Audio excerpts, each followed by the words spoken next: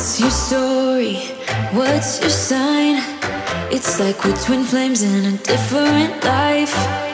Deep connection lights a spark. It's like you know me in the depths of my heart. We're dreaming.